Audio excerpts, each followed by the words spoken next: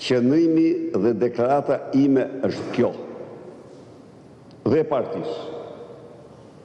Dy persona janë të larguar në mënyrë përfundimtare nga PD-ja.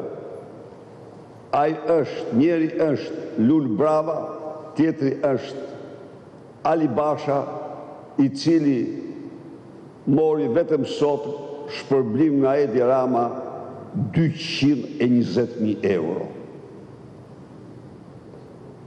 Partia Demokratike është e hapur për të gjithë të tjerët